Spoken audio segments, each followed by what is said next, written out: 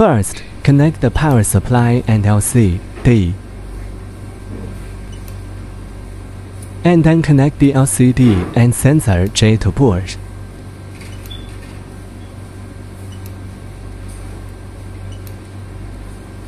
Then, the silicone tube connected to the oxygen generator is inserted into the sensor to detect concentration and flow, and inserted into the pressure sensor behind the display board to detect pressure.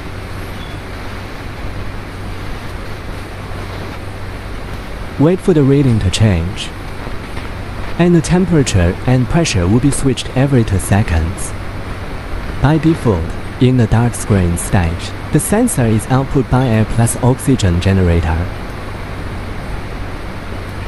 Press the button on the display board, the screen lights up, and the sensor switches to the air plus pure oxygen. Output